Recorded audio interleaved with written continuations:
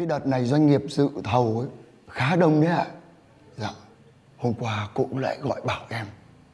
Cụ nói rõ luôn thao tác kiểu gì thì thao tác. Nhưng cháu anh đức on linh phải trúng gói thầu này. Cụ mà đã hứa với ông đức là không lệch đi đâu được. Dạ vâng ạ. Anh ơi ừ, em định tối nay nhờ anh mời anh hùng công thương ngồi cùng phải có một câu của anh hùng công thương thì mọi việc mới xong được anh ạ. Dạ vâng ạ. Dạ. Dạ. Dạ. Không không không không. Anh ơi. Anh nhầm rồi. Cái tầm của on linh ấy không để ý đi gói thầu mấy trăm tỷ này đâu. Nhá. Mà là em vợ anh đức. Mấy ngày hôm nay cũng gọi điện giúp em liên tục thực ra thì à, cụ hồng nhà em ấy cũng muốn làm đẹp lòng ông đức thôi. Mà anh biết rồi đấy. Ở đời này thì thần cậy cây đá cây đá cậy thần phải không ạ? Dạ dạ dạ dạ.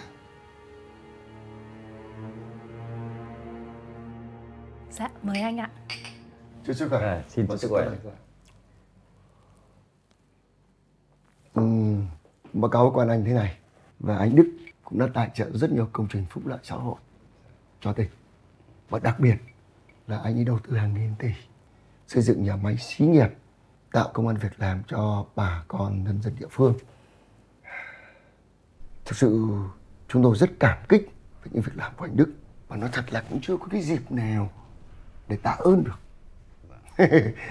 May quá đợt này lại gói thầu vài trăm tỷ nói thật ra là tôi cũng bạo muội đề xuất với anh, tạo điều kiện cho chú Quý đây coi như là cái, gọi là, cảm ơn anh nhất Dạ vâng ạ.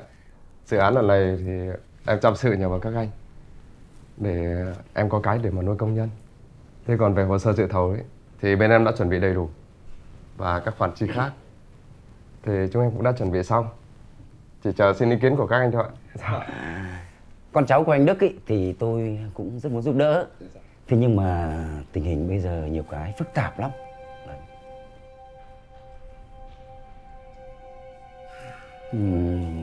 Mà chỗ anh em nhé, tôi nói thật nhé. Cách đây mấy hôm ý, mấy ông ở trên bộ ấy, gọi tôi lên.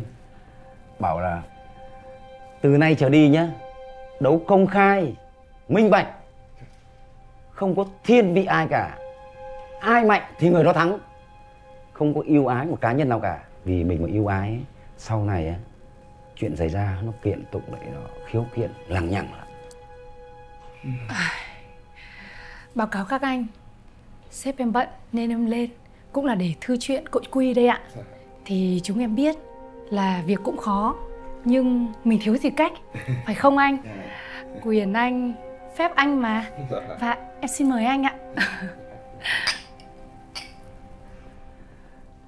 Thế này nhé. Cái ờ, những cái gói này mà nó nhạy cảm lắm.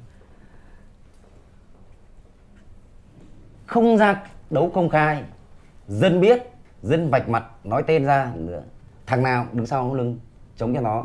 Nó là sân sau của ai? Dân, như là sóng biển. Thôi, cái tình hình này thì không khéo lại thành củi. Cho vào lò thôi. Là như thế thì khó cho bọn em quá. Thôi thì à, thế này quan anh ạ. mong quan anh hãy thương chiếu cố thêm em nó Dạ. thằng này nó mất mũi thế thôi chứ sống tử tế chân thành. Dạ. thoải mái tốt đấy. Mà lại chỗ đi lại lâu năm bên tỉnh khổ nhất cho tôi là ông bố nuôi tôi suốt ngày gọi điện giục. Khó xử. Ông nào là bố nuôi chú nhỉ cụ hồng thương vũ ấy. À. Thế sao cụ không nói gì với tôi nhỉ? Cái tầm của cụ đứng đầu tỉnh.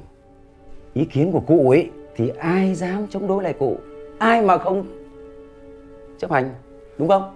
nói thật với quan anh chỗ bác đức là người nhà của ông cụ nhà tôi. Và cái vụ này ông cụ tôi mới lên tiếng.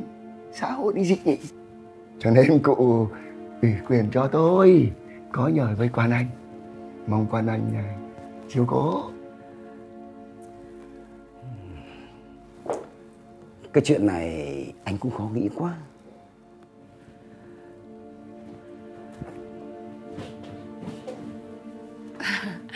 Dạ, báo cáo anh. Chẳng là cậu Quy vừa mới đi châu Phi về. Có món quà gửi anh tặng chị nhà Viên ruby quý ạ. Anh nhận lấy cho bọn em vui ạ. Ấy chết ấy chết. Tôi đã giúp được cái gì đâu. Dạ, báo cáo anh Của một đồng công một nén thôi ạ. À, Mấy hơn nữa em gửi vào trong đấy mấy chục ngàn. Sao lại cả phong bì à Thôi cậu cầm về đi tôi không nhận đâu. quan anh quan anh tôi chia sẻ với quan anh thẳng thắn luôn. Một mình quan anh có giúp được đâu. Mà lại còn quan hệ người này người nọ chỗ này chỗ kia nữa. Đúng rồi ạ. Mà các cụ có câu rồi.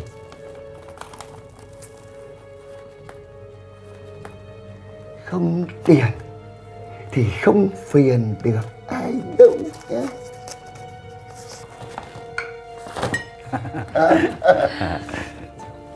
Đây đâu Dạ. mời con anh. Nào Terima kasih.